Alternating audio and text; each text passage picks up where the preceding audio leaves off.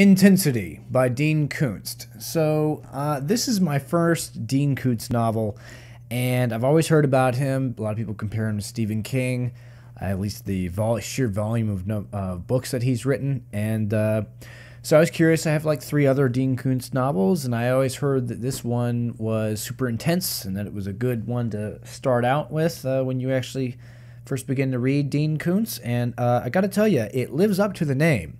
This book was unbelievably intense. Like, golly, it was suspenseful, it was scary. To give you kind of a brief description of the premise, um, the main character is Chyna Shepherd. She's kind of a very troubled past, uh, lots of abuse and that sort of thing. And, well, long story short, in the first chapter, some horrible things happen to her friends, and um, she is kind of uh, both running from and running away from a psychotic serial killer named Ed- Edgler Vess, who uh, is one of the most terrifying fictional characters I've read about in a long, long while. Like, golly. As serial killer uh, stories go, this would be like, if they made this into a movie, it would be like the most like haunting like terrifying movie. It'd be like, uh, I mean, Edge, Edgler Vess is a sick monster who, ugh, the things he wants to do to women and has done to women. Ugh. So that's kind of what you're dealing with. It's a essentially, yeah, a serial killer book, and uh, but it's a little bit more complex than that because the character of Chyna Shepherd is very complex, and the story uh, is unpredictable and uh, it really does keep you on the edge of your seat. Like I said, it lives up to the name. It is very intense. Uh, the only flaws I have with the book is uh, some of the writing is fantastic. Some of it is not so much. Uh, towards the beginning of the of the novel, uh, there's this scene of dialogue between Chyna and her friend Laura and it's not good. It's not good dialogue. It's the kind of dialogue that you would think an author would write. It's the kind of dialogue that an author thinks people normally uh, speak in, but they definitely don't. Like one of the one of the characters used the word iridescent when describing something, and I'm like, nobody, certainly not college girls, uses vocabulary like iridescent blue falling from the sky and whirling blue. Nobody talks that way. I mean, it, it was clearly kind of like this is a writer talking, you know?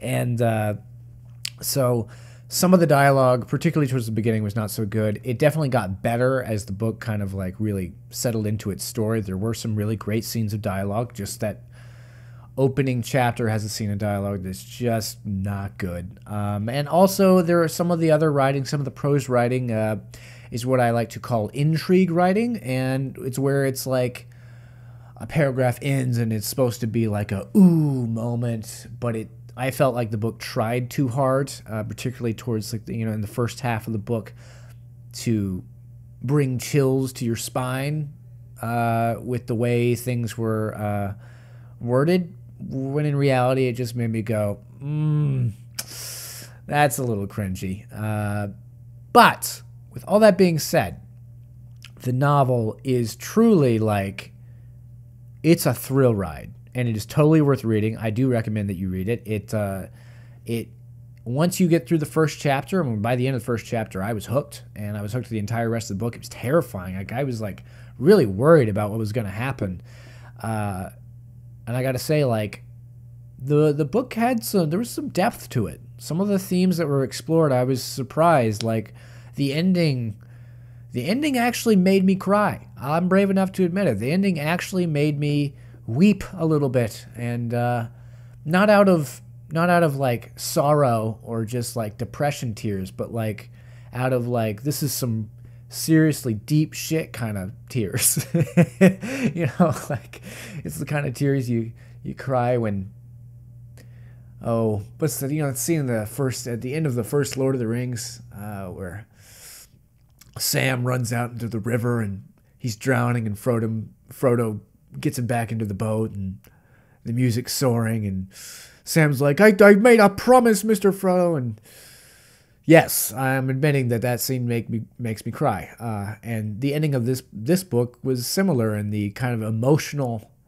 uh, the the emotional weight of it. Like it just was like that, like it was good good tears uh, over seriously powerful shit.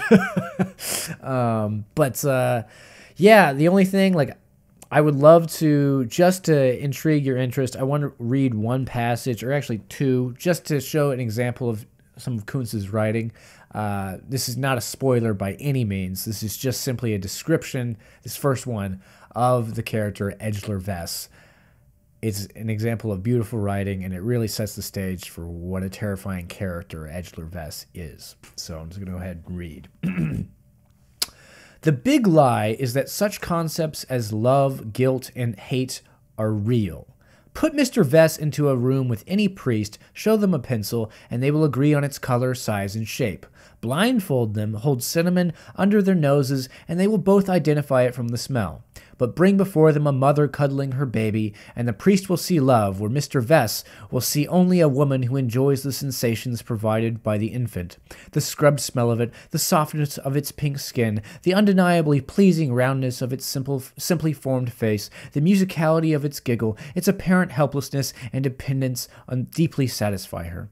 The greatest curse of humanity's high intelligence is that, in most members of its species, it leads to a yearning to be more than they are. All men and women, in Vess's view, are fundamentally nothing more than animals. Smart animals, indeed, but animals nonetheless. Reptiles, in fact, in, evolved from whatever fish with legs first crawled out of the primordial sea. They are, he knows, motivated and informed solely by sensory stimuli, yet unable to admit to the primacy of physical sensation over intellect and emotion. They are even frightened of the reptile consciousness within, its needs and hungers, and they attempt to restrict its sensations, seeking by using lies such as love, guilt, hate, courage, loyalty, and honor. This is the philosophy of Mr. Edgler Vess. He embraces his reptilian nature. The glory of him is to be found in his unmatched accretion of sensations. This is a functional philosophy, requiring its adherent to endorse neither the black and white values that so hamper religious persons, nor the embarrassing contradictions of the situational ethics that characterize both the modern, modern atheists and those whose religion is politics. I mean, that that is the philosophy of Mr. Edgler Vess. I hope my reading was coherent enough to understand. Um, some, some of my inflection was probably a little cryptic, but I mean, like haunting, and that's beautiful writing. And uh, Koontz clearly has a grasp of things, like that last bit on uh, neither the black and white values that so hamper religious persons, nor the embarrassing contradictions of the situational ethics that characterize both the modern atheists and those whose religion is politics. That's quite an indictment of most many sides of the uh, existential thought present in our world today. And uh, yeah, very impressive. And most of the book, I, I, I will say, is written as expertly as that. But as I said earlier, some of it, not so much. Uh, the only other thing I'd like to read is a short little passage from, uh, let's see.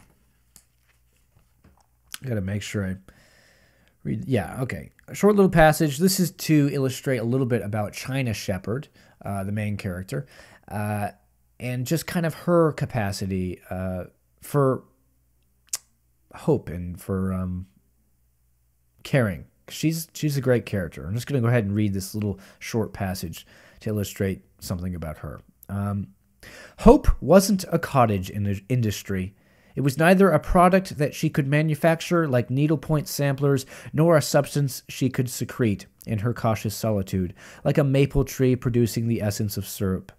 Hope was to be found in other people by reaching out, by taking risks, by opening her fortress heart. And uh, yeah, I mean, she's that kind of. She's a very complex, complex character who, most of her life, uh, before the story of this novel uh, was reserved, terrified of the world, terrified of opening up to anyone. And now she's forced to open up to someone in this book and forced to reach out and be with people and uh, hope in other people and uh, open her fortress heart. It's it's really beautiful. Like uh, I was kind of I was pleasantly surprised by the depth of the book, and uh, I would give intensity overall. I would give it an A. Um, for writing, I would give it. Um, for the most part an A minus, but sometimes a B or a B minus. Um, but you know, still pretty well written. Uh, the story is solid A. So yeah, intensity gets overall an A for awesome and an I for intense. AI, awesome, intense. Shut up, Carter. You sound so stupid. Anyways, yeah, would recommend.